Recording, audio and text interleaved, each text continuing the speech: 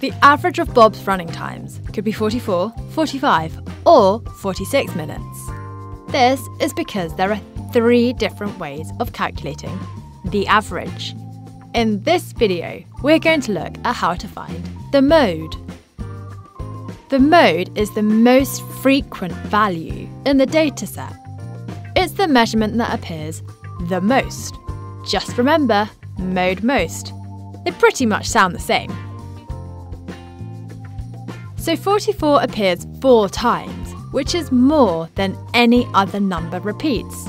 So the mode is 44. Who has the faster mode? Bob or his friend? Pause the video and work it out.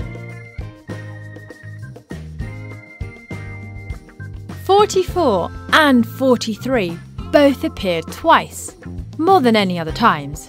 They are both the mode.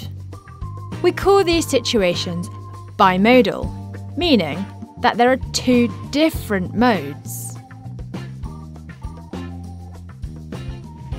If our data is discrete, select modes of transport used or favourite colour, then the mode makes sense as a measurement. But continuous data, like the height, where it's unlikely that many people have the exact same height, the mode can't really be used.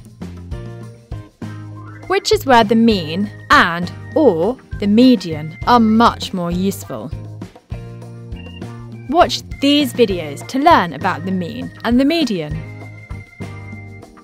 And watch this video to learn about which average to use when.